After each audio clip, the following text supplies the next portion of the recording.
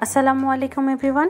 আমি আজকে আপনাদেরকে করে দেখাবো কীভাবে পারফেক্টলি মোচমোচে বেগুনি চপ আপনারা তৈরি করতে পারেন আর অনেকক্ষণ এটা মোচমোচে থাকবে। চলুন, আমার প্রসেসটা আমি দেখাচ্ছি আপনাদেরকে। আমি নিয়ে নিব দেড় কাপের মতো বেসন। এর মধ্যে আমি এখন দিয়ে দিব স্বাদ মতো লবণ।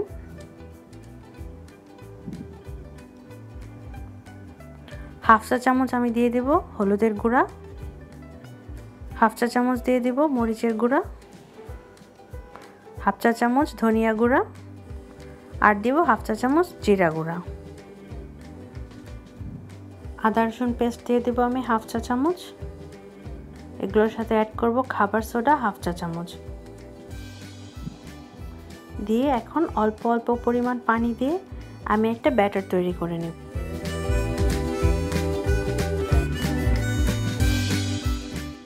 ব্যাটারটা আমি তৈরি করে নিয়েছি। এখন আমার আঙ্গুলকে আমি একটু চুপিয়ে দেখাচ্ছি। দেখুন, আমার আঙ্গুলটা পুরোপুরি কোট করে ফেলেছে, তার মানে আমার বেসনটা কমপ্লিট।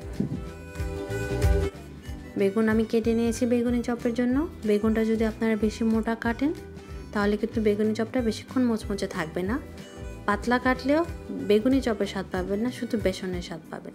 চেষ্টা করবেন এরকম মাঝারি সাইজের কাটতে। বেশি মোটাও না, বেশি চিকনও না।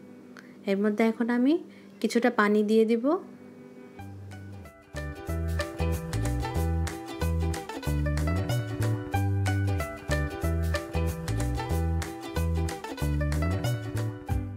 হাফ চা চামচের মতো লবণ দিয়ে দিব। দিয়ে এই লবণ পানির মধ্যে আমি এটাকে দশ মিনিট ভিজিয়ে রেখে দিব।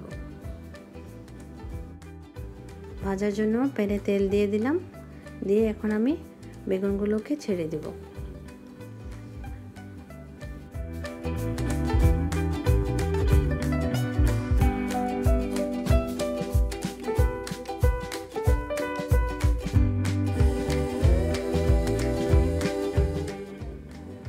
একটা পাশ একটু লাল হয়ে আসলে আমি বেগুনি চপগুলোকে উল্টে দিব।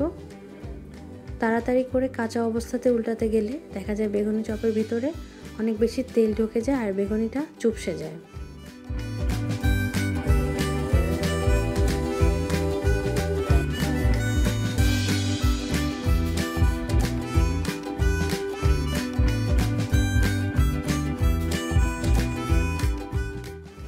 আমার প্রসেসে যদি আপনারাও বেগুনি চপটা তৈরি করে থাকেন, দেখবেন আপনাদের বেগুনি চপটাও অনেকক্ষণ মুচমুচে থাকবে।